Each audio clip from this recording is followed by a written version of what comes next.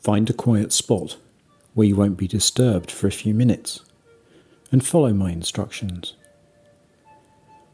Hold your hands out in front of you like you're riding a bike. And now close your eyes.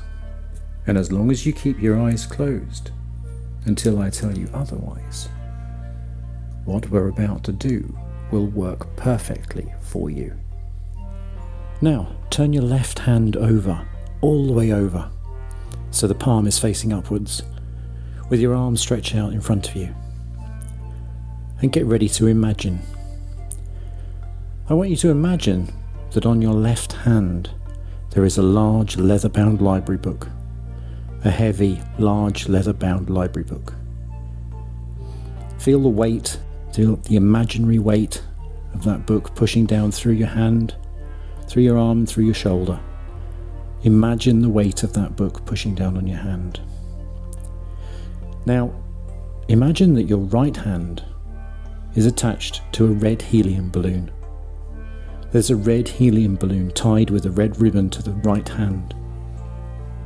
And just feel the lightness as that red helium balloon lifts your hand upwards, while the weight of the leather bound library book pushes down on the left. And just imagine as the weight of the leather bound library book pushes down on the left and the helium balloon lifts the right. Just imagine that your hands can move. And now imagine adding another book to the left hand, another leather bound library book to the left hand, pushing down on that left hand. And tie another red helium balloon to the right hand. And just imagine the right hand being lifted and the left hand being pushed downwards. The right hand being lifted and the left hand being lowered. And add another book to the left hand. Feel the weight now getting really heavy, all that weight pushing down through your hand, through your arm, through your shoulder, all that weight pushing down on your left hand and tie more balloons to the right hand, more imaginary red helium balloons to the right hand, lifting that hand skywards, taking all the weight, lifting it upwards. And now, keeping your hands exactly where they are, open your eyes and notice the difference in the height of your hands. And close your eyes again. And now, I want you to imagine that your right hand can lower, but only as quickly as you can let go of every negative thought, feeling, emotion, everything you've seen, heard, thought, or said that's ever held you back. And as your right hand slowly falls, but only as quickly as you can release and let go of every negative thought, feeling, and emotion that is currently holding you back from being everything you can be. You release and let go every negative thought, feeling, emotion, and memory.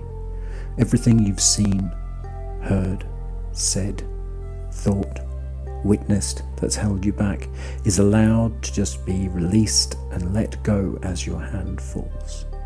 Falling slowly, releasing, letting go of all that stuff both conscious and unconscious, all the thoughts and feelings being released. Just release. And when your right hand reaches your lap or whatever it lands on, you can allow your left hand to drift downwards. Just let your left hand drift downwards. And as it reaches your lap or whatever it lands on, you can open your eyes and notice what's different. Notice the changes, the changes in how you feel.